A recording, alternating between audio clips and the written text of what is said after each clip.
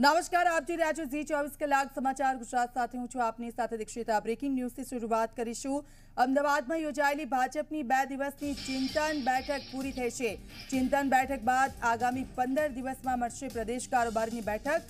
કારોબારી બેઠકમાં ભાજપ કાર્યકરોને આપશે બે હજાર બાવીસની ચૂંટણી માટે ટાસ્ક મતદારો સુધી પહોંચવા અને આગામી કાર્યકરો કાર્યક્રમો રૂપરેખા ઘડવા રણનીતિ ઘડાઈ રહી છે. કયા ક્ષેત્રમાં મતદારો સાથે સંવાદ કરવો અને કયા કાર્યક્રમો થકી લોક સંપર્ક વધારવો તે અંગે ટાસ્ક અપાયા વિસ્તાર બેઠક પ્રમાણે મતદારોને ભાજપ તરફ આકર્ષિત કરવા અંગે કાર્યકરોને માર્ગદર્શન આપવામાં આવ્યું.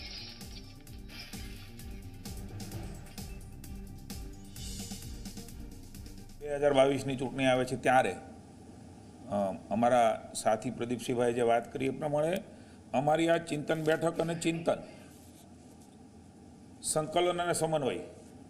આ સતત ચાલતી આવતી ભારતીય જનતા પાર્ટીની પ્રક્રિયા છે. આપ સૌ જોવો છો કે પંડિત દીનદયાળજીને ડૉક્ટર શ્યામાપ્રસાદ મુખર્જીએ જે દિશા અને જે વિચાર આપ્યો એ જ વિચાર ઉપર આજે સમગ્ર વિશ્વમાં નરેન્દ્રભાઈના નેતૃત્વની અંદર આદરણી અમિતભાઈના નેતૃત્વમાં નડ્ડાજીના નેતૃત્વમાં અને રાજ્યમાં માનની મુખ્યમંત્રી ભૂપેન્દ્રભાઈ અને પ્રદેશ પ્રમુખ સી આર પાટીલજીના નેતૃત્વમાં એ સેવાના વિચાર સાથે સતત ચાલતી પ્રક્રિયાના ભાગમાં બે દિવસ સુધી આ બેઠક મળી છે.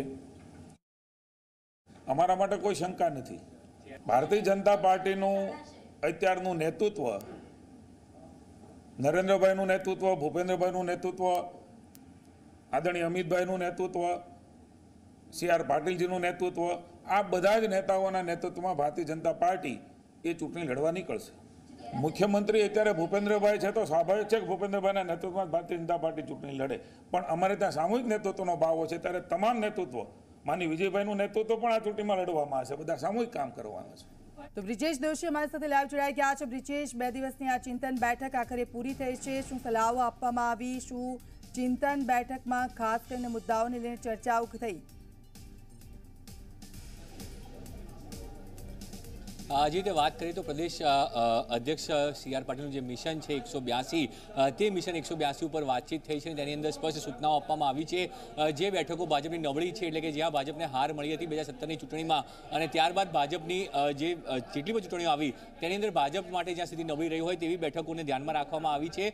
તેને લઈને વિશેષ રણનીતિ ઘડવામાં આવી છે તેવું સ્પષ્ટ રીતે પ્રેસ કોન્ફરન્સમાં કહેવામાં આવ્યું એટલે મિશન એકસો બ્યાસી સાકાર કરવા માટે ભાજપ સતત કટિબદ્ધ છે અને તે માટે જે પણ પગલાં ભરવા પડશે તે પગલાં ભરવાની સૂચના આપવામાં આવી છે. તમામ નેતૃત્વ જે તમામ નેતાઓ અહીંયા હાજર હતા ત્રીસથી વધુ એ નેતાઓએ સામૂહિક રીતે નિર્ણય કર્યો છે અને તે પ્રમાણેના આગામી કાર્યક્રમો ઘડવામાં આવશે. મુખ્યમંત્રી સહિત તમામ જે નેતાઓ છે તેમના કાર્યક્રમો થવાના છે. રણનીતિ અ, તેમનો ઘડે છે પીએમ પણ આવશે ગૃહમંત્રી પણ આવશે અને રાષ્ટ્રીય નેતૃત્વમાં તમામ મંત્રીઓ પણ અહીંયા આવવાના છે. એટલે તે રીતનું આયોજન થઈ રહ્યું છે. ચહેરાની વાત છે ત્યાં સુધી સામૂહિક નેતૃત્વ હેઠળ ચૂંટણી લડાશે એટલે કે પીએમનો ચહેરો કેન્દ્રીય ગૃહમંત્રીનો ચહેરો રાજ્યની અંદર વાત કરીએ તો પ્રદેશ અધ્યક્ષ સી પાટીલ અને મુખ્યમંત્રી આમ આ સામૂહિક નેતૃત્વની અંદર ચૂંટણી લડાશે તેવું સ્પષ્ટપણે શિક્ષણ કહ્યું છે. એટલે તમામ રણનીતિ તૈયાર થઈ ચૂકી છે. આગામી દિવસોમાં કારોબારી મળશે અને તેની અંદર આ તમામ મુદ્દાઓ લઈ જવામાં આવશે અને કાર્યકરોને જવાબદારી સોંપવામાં આવશે, જેથી કરીને મિશન એકસો જે છે એ સફળ બનાવી શકાય તે માટેના તમામ મુદ્દાઓ ઉપર વિસ્તૃત ચર્ચા આ બેઠકની અંદર થઈ છે. જી. બિલકુલ આભાર, બ્રિજેશ, આપનો સમગ્ર વિગત બદલ.